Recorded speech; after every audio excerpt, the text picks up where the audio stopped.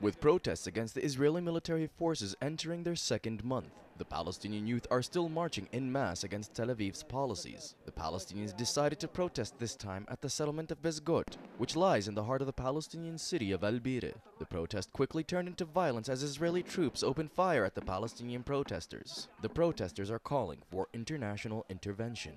القضية الفلسطينية والحقوق الفلسطينية. بمعنى قرارات الشرعية الدولية والأمم المتحدة هي المرجعية لأي عملية سياسية. والدور الأمريكي عمليا بالنسبة للفلسطينيين انتهى. هو دور منحاز ودور معادي للفلسطينيين ويشجع إسرائيل على كل ما تقوم به. أعتقد إمعان حكومة إسرائيل بإجراءات القتل Palestinian Popular Resistance Committees still participate in the protests and have announced that the demonstrations will continue. Our simple message today here is that our struggle will continue to achieve our goals of independence, self-determination for the Palestinian people.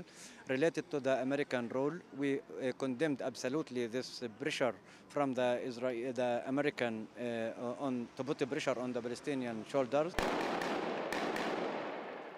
The Israeli military was not only repressing the protesters, but also provoking journalists at the site. Clashes have erupted all across the West Bank and Ramallah, Al Bireh, Al Khalil, and Beit Lahem. Several injuries were reported due to live ammunition and rubber bullets. Two Palestinians were also killed by Israeli military forces. With these protests already in their second month, the Palestinians are steadfast in their demands against the Israeli crimes, and are not only calling for an end to the Israeli occupation, but for the international community to break their silence. Hamad Hamayel for Press TV, occupied Al Bireh.